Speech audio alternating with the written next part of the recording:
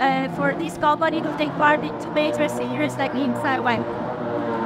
Um, for sure, it's a major commitment uh, for Automobili Lamborghini.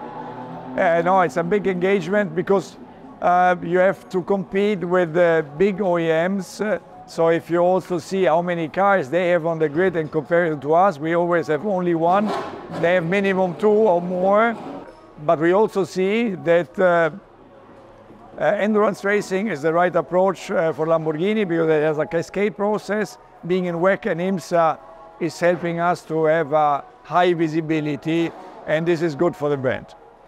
Uh, people usually think that modern racing is mainly a business and marketing tool. What do you think about it? Man, yes, it is for sure. But uh, to win, I can tell you, is really exciting. What would be your dream about this program? In a like, We have to be realistic, so we have to catch up now because we, for us it's the first season.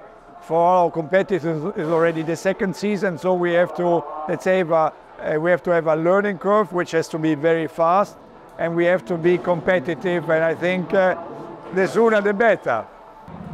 what is your comment about the, well, having the first and unique actually team competing with uh, with women, so Iron Dames? But I'm very proud uh, to have uh, a team with only uh, ladies in the car. Uh, they are good, they're very competitive, and uh, this is, I think, a healthy uh, moment for the motorsport and Automobili Lamborghini.